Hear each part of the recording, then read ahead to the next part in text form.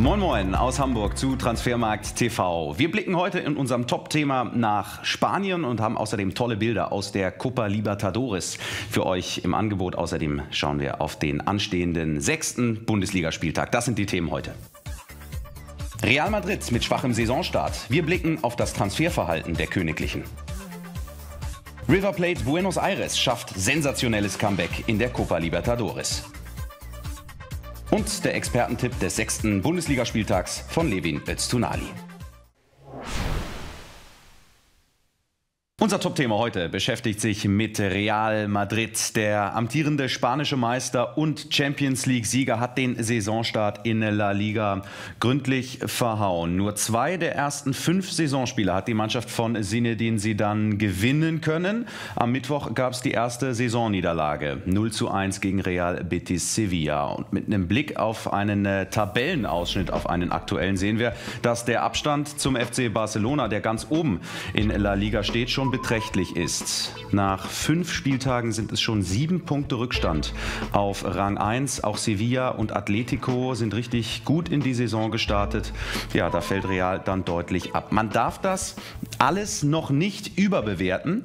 Die Saison ist noch jung, aber der Abstand ist halt schon relativ groß. Wir wollen mal darauf blicken, was denn Real transfermäßig in den vergangenen Jahren so veranstaltet hat. Und da fällt auf, dass die in den letzten zwei bis drei Jahren, was die Einkäufe Einkäufe anbelangt, deutlich defensiver agiert haben auf dem Markt, als man das über viele Jahre zuvor gewohnt war. Das liegt möglicherweise auch am Konzept des Trainers Sinedin Sidan, der seit Anfang 2016 Trainer ist. Also, schauen wir mal. 13, 14, da wurde es noch teuer. Bale eingekauft, Isco, Cavachal, ein Transferminus bzw. Ausgaben von 175,5 Millionen Euro. Saison 14-15 dann schon etwas weniger. Der letzte richtig große Transfer war mit äh, James Rodriguez, der viel, viel Geld gekostet hat. Und Saison 15-16 und 16-17, ja, deutlich unter 100 Millionen Euro Ausgaben. Für die Saison 17-18 Theo und Ceballos als Neueinkäufe. Für die Saison 18-19 übrigens wurde schon ein Transfer getätigt. Vinicius Junior von Flamenco kam für 75 Millionen Euro, wird aber erstmal weiter verliehen. Über die Situation bei Real Madrid möchte ich jetzt sprechen mit Nils Kern von Real Total. Nils Kern ist live in äh, Madrid mit dabei und berichtet von dort. Äh, moin Nils, Real hat ja in den vergangenen Transferperioden, wir haben angesprochen, verhältnismäßig wenig in neue Spieler investiert, obwohl da durchaus Geld da wäre. Warum ist das so? Äh, du sagst es, Hannes, Geld ist definitiv da. Da hat man die letzten Jahre ordentlich gewirtschaftet, aber dann war doch der letzte Galactico-Transfer, war äh, James Rodriguez vor drei Jahren, 2014. Seitdem hat man halt seine Strategie ein bisschen geändert. Die Königlichen, auch dank Sinedin Sidan, der 2016 äh, übernommen hat, das Traineramt, äh, setzt man eher auf, ja, darauf junge Spieler langsam heranzuziehen. Also wenn man mal so sieht, wer aktuell Stammspieler in der Mannschaft ist, man hat dann einen Rafael Varan, der kam 2011 für kleines Geld, 10 Millionen, Carlos Casemiro kam, wie Isco 2013, die haben sich dann nach und nach, durch all die Jahre, wurden sie kontinuierlich aufgebaut. Ähm, man setzt da eher auf solche Spiele und da ist auch schon die nächste Generation im Kommen. Matteo Kovacic, Marco Asensio, die kamen ähm, 2015, auch für ja, verhältnismäßig kleines Geld und ja, man hat einfach seinen aus der Vergangenheit ein bisschen gelernt, statt einfach ja, Aktionismus zu betreiben mit hohen Ablösesummen. Also Cristiano Ronaldo, Gareth Bale haben sich durchaus ausgezahlt, aber was man da so 2006, 2007 noch äh, gezahlt hat für diverse Niederländer, ähm, da hat man jetzt einfach daraus gelernt und sieht auch, ähm, ja, sich auch gewappnet so für die nächsten Jahre, ähm, um einfach auch einen Ronaldo Ramos oder Luka Modric ersetzen zu können durch dann eben ja Varan, Kovacic oder äh, Asensio. Welche Rolle spielt der Trainer, spielt Zinedine Zidane in der Transferpolitik von Real aus deiner Sicht? Natürlich eine sehr große. Er hat auch sicherlich Florentino Perez, den Präsidenten von Real Madrid, da irgendwie, er hat die Mentalität geändert, dass eben nicht jeden Sommer man äh, 100 Millionen ausgeben muss, sondern man auch durchaus einerseits auf eigene Talente setzen kann. Ähm, also wenn man mal schaut, Jesus Vallejo kommt jetzt zurück, war letzte Saison ausgeliehen. Dani Carvajal war auch schon ausgeliehen an Leverkusen. Äh, Marcus Asensio, Lucas Vazquez genauso. Äh, junge Spieler, die ähm, woanders die Erfahrung ähm, gesammelt haben im Ausland, nach einer Saison dann zurückkamen haben. Da, diese Mentalität hat er sicher dem Perez irgendwie eingetrichtert und dann eben auch diese Harmonie im Team geschaffen zwischen Weltstars wie Ronaldo und Bale, aber auch Routiniers wie Modric Groß und dann eben jungen äh, spanischen Talenten. Und äh, das macht sie dann aus. Da hat er einerseits im Kader diese Harmonie geschaffen, wo es dann eben nicht unbedingt immer noch einen, einen Pogba oder Mbappé ge ge äh, gebraucht hätte. An den Spielern war man durchaus dran, aber da ja, sagt man sich inzwischen auch, es gibt eine finanzielle Grenze bei Real Madrid. Man könnte sich äh, 150 Millionen Transfers durchaus leisten, aber ähm, ja, das würde dann einfach die Harmonie stören. So hat es der Paris zumindest jetzt nach dem äh, Mbappé-Transfer zu Paris gesagt. Jetzt wollen wir noch mit dir über eine ganz konkrete Personalie sprechen, denn da ploppt ein Interview auf äh, von Pierre-Emerick Aubameyang vom BVB. Der hat äh, gesagt, dass im Sommer die Möglichkeit da gewesen wäre, Borussia Dortmund zu verlassen, möglicherweise auch zu seinem, wie er ja sagt, Traumverein Real Madrid. Am Ende ist nichts passiert. Warum hat Real bei einem solchen Spieler beispielsweise nicht zugeschlagen?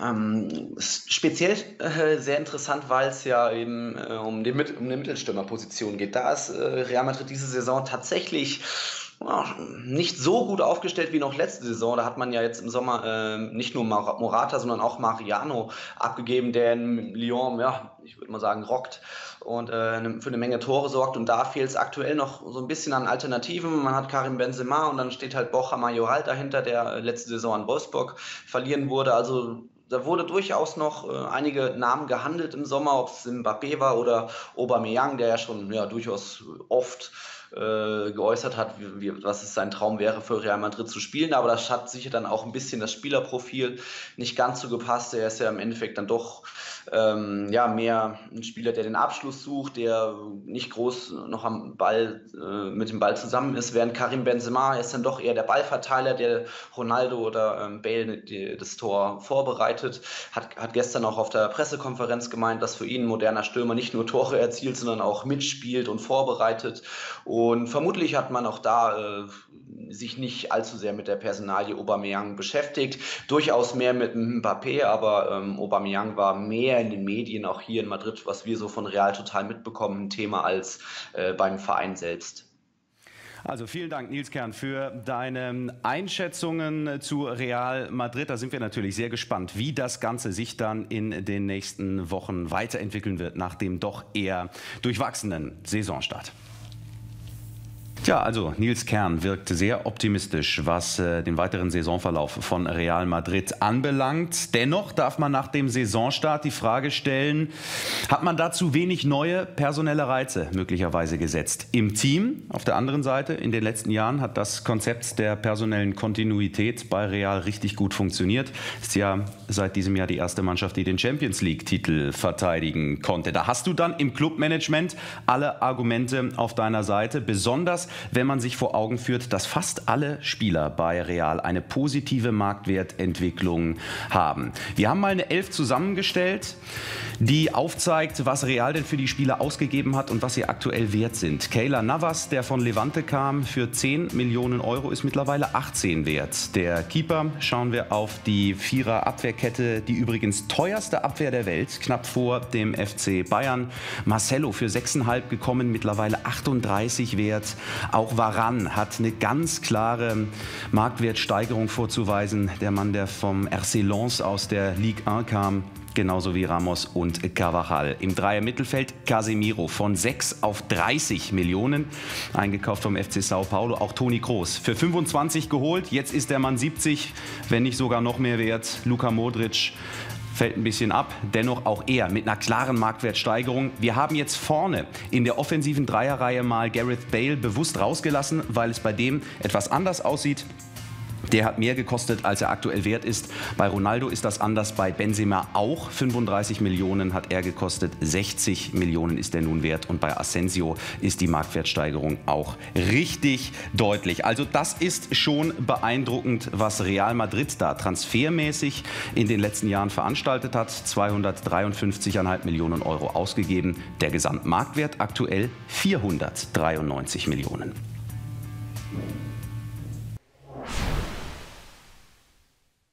Der nächste Bundesligaspieltag steht an und wir haben mal wieder einen Expertentipp.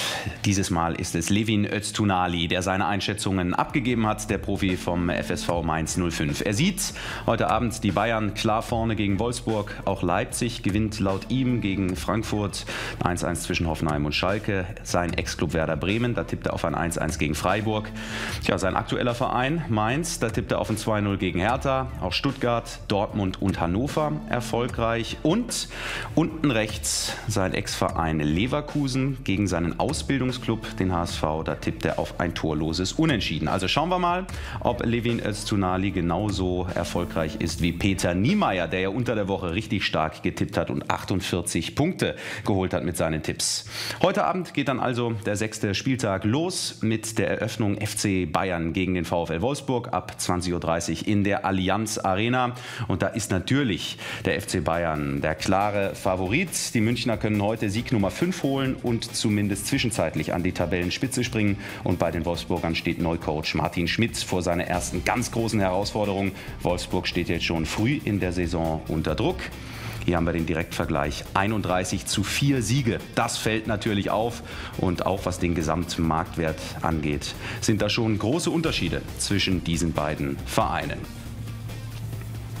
Und ein Spieler wird sich äh, ganz besonders freuen auf dieses Duell, nämlich Robert Lewandowski, der auf den Tag genau vor zwei Jahren einen Fünferpack geschnürt hat und das binnen neun Minuten im Heimspiel gegen die Wolfsburger. Also Lewandowski will heute natürlich da weitermachen und steht übrigens schon wieder oben in der Torjägerliste. Sechs Tore hat er gemacht aus seinen ersten fünf Bundesligaspielen.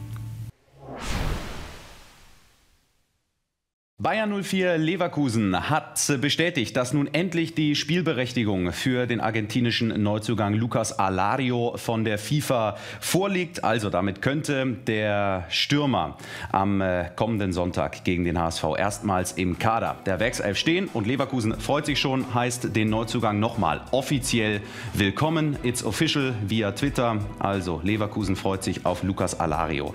Darauf wollen wir jetzt aber gar nicht näher eingehen, sollen, sondern wollen vielmehr mehr über Lucas Alarios Ex-Club River Plate Buenos Aires sprechen, die gestern ein sensationelles Comeback gefeiert haben in der Champions League Südamerikas, in der Copa Libertadores im Viertelfinal-Rückspiel gegen die Bolivianer von Jorge Wilstermann. Kurzes Update für euch oder ein Roundup. Das Hinspiel hatte River in Bolivien auf zweieinhalbtausend Metern mit 0 zu 3 verloren. Andernorts wäre das Wettbewerbsverzerrung, auf einer solchen Höhe Fußball zu spielen. Aber gut, in Südamerika läuft das so. Und jetzt gestern im ausverkauften Monumental-Stadion von Buenos Aires vor 60.000 Zuschauern also das Rückspiel.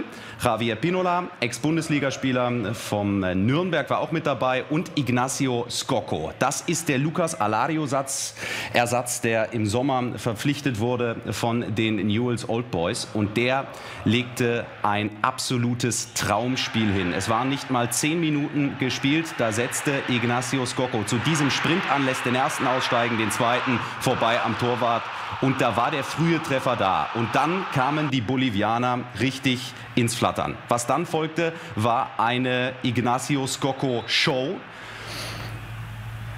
Denn er erzielte einen lupenreinen Hattrick in den ersten 20 Minuten. Und dann war das Ergebnis aus dem Hinspiel bereits ausgeglichen. In der Copa Libertadores hätte es dann direkt Elfmeterschießen gegeben, war aber gar nicht nötig. Denn Enzo Perez Ebenfalls ein Neuzugang vom FC Valencia erhöhte noch vor der Pause auf 4 zu 0. Das 5-0 machte dann wieder Scocco direkt nach dem Wiederanpfiff. Das war ein Hexenkessel im El Monumental in Buenos Aires. Ignacio Fernandez sogar mit dem 6 zu 0. Und zwei weitere Treffer fielen tatsächlich noch nach dieser Ecke war es, Überraschung, Ignacio Scocco, der fünfmal traf. Ein unglaublicher Tag für den äh, 32-jährigen Stürmer. Und dann dieses Sahnehäubchen. Ein 100-Meter-Sprint von Enzo Perez, der den Doppelpack schnürte und am Ende ganz cool über Raul Olivares im Tor von äh, Jorge Wilstermann hinweglupfte. Er war mit Ball deutlich schneller als zwei Gegenspieler. Ohne, hat den Kopf oben, macht das richtig gut. Am Ende 8 zu 0 und der zweithöchste Sieg in der Copa jemals für River Plate. Was für ein Comeback. Das war Werbung für den Wettbewerb.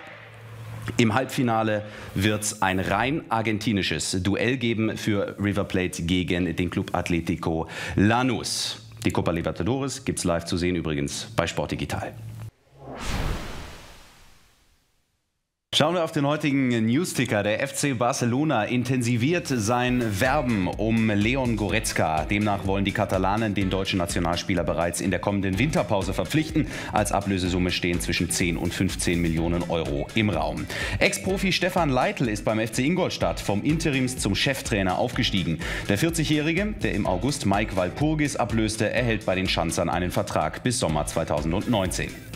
Die TSG 1899 Hoffenheim muss mehrere Monate auf Abwehrspieler Ermin Bicakcic verzichten. Der 27-jährige Deutsch-Bosnier hat einen Teilriss des Kreuzbands erlitten. Die Verletzung zog er sich beim Europa League-Spiel gegen Sporting Braga zu.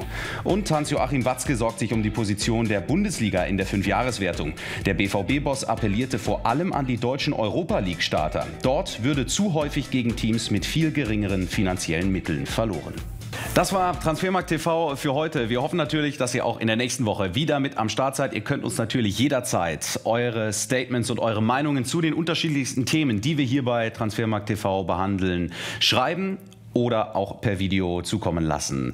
Tja, und äh, zum Abschluss blicken wir nochmal nach Asien in die japanische J-League auf Lukas Podolski, der morgen wieder im Einsatz ist. Ab 11.55 Uhr könnt ihr live bei Sport Digital sein Spiel sehen gegen den Tabellenzweiten Kawasaki Frontale mit seinem aktuellen Club Wissel Kobe. Und wer weiß, vielleicht trifft er ja auch doppelt so wie bei seinem Debüt für Wissel Kobe. Bis nächste Woche. Tschüss.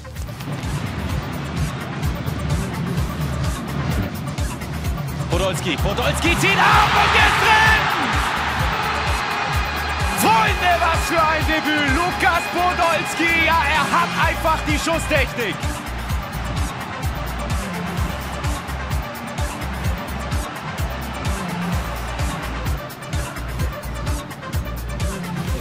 Ja, wieder Podolski! Und wieder ist er drin! Perfekte Antwort von Wissel Kobe. Perfekte Antwort von Lukas Podolski.